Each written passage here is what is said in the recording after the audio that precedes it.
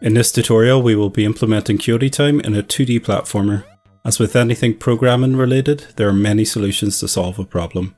In this video we're going to just be using a simple timer and some logic to add Coyote Time to a little retro platformer. The finished project can be downloaded straight from GitHub, links are down below. So this is the project currently with no Coyote time. The demo scene has some platforms which is created with a tile map for the player to move and jump on. There's a player scene that provides movement, animation and a jump sound effect. I also added a camera as a child of the player so the camera will follow along with the player's movements. Running the project you can see we have a nice little retro platformer. The movement feels pretty good and tight. We do have a problem though.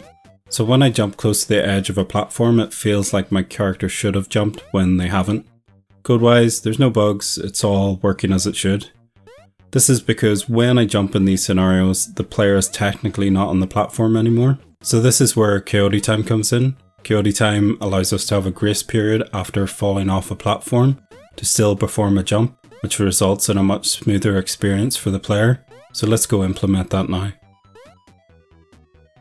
First we need to add a timer to the player scene and rename it to Coyote timer.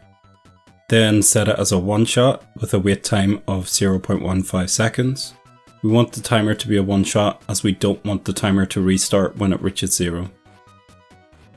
Now let's go into our player script and add an on-ready variable that references the newly created timer. Okay, so let's take a second and explain how we're going to implement the logic for adding Coyote time to our player.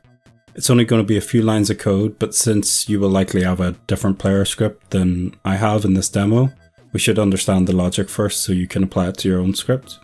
We want to start the timer when the player has transitioned from being on the floor to not being on the floor. Since we're using a kinematic body 2D for the player, we have access to the built-in is on floor method, which returns true or false depending if the player is on the floor. In the player script, it's already being used to determine if the player can jump.